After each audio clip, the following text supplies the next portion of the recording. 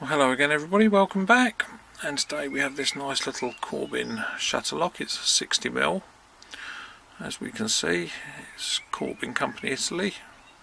Tells you all about the lock on there if you're up on your Italian. Uh, but if not they've put it on English the other side as well. It's all there. Like I say quite a nice nicely finished lock Seems like fairly good quality. It's got key retaining. Uh, also came with this, which obviously fits on there. I don't know the purpose of it. Maybe something to do with containers. I don't know. If anybody knows what it's actually for, let me know in the comments. Uh, we have five pins get that to focus.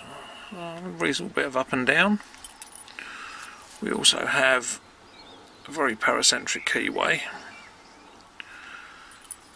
And on top of all that we have I don't know if you can see there's quite a reasonable bit of spring pressure on the core there initially. So because of the keyway and the size of the keyway the best pick I've found is this which is I can't remember if it's the shallow hook or the euro hook but Sparrow's been 15,000 so it's very flexible. And you can see that spring tension there. So we have to keep enough tension on to counter that but also we can't put too much pressure on because we're using such a flimsy hook. And we've got security pins to deal with so it's it's a fun pick. So that was a click on one.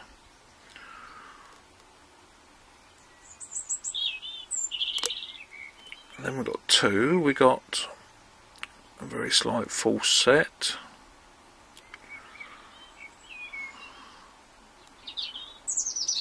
try and get on to three. We've got counter rotation on three. We lost that false set.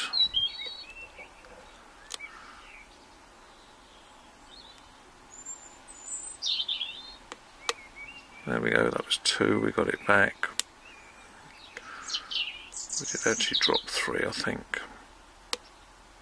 Right, I think we got three that time.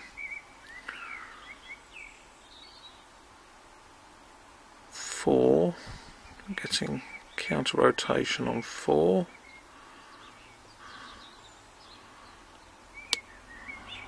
Right, hopefully that was four. Five, bit of counter rotation, and we got a click. So we've got a reasonable false set. Just check on one. That's giving us some counter rotation.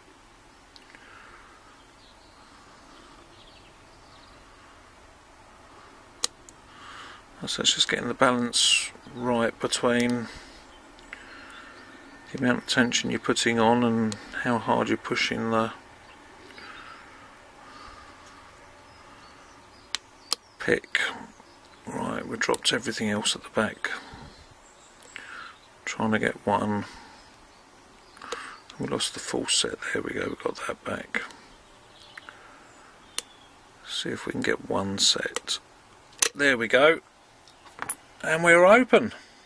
So as you can see key retaining. That is now locked into place. Like I say quite a fun little pick with all the little nuances of it. But very nice little quality lock. So the Corbin 60mm, I think it's called Italian style shutter lock. So I hope you enjoyed that and thanks for watching. See you again soon. Bye.